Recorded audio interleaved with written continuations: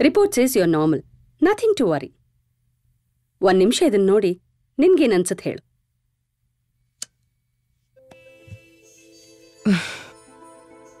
ಇದನ್ ನೋಡಿ ಇದೊಂದು ಸನ್ರೈಸ್ ಅಂತ ಹೇಳಿದ್ರೆ you filled with positive thoughts you absolutely all right ಅಂತ ಹೇಳ್ತೀರಾ?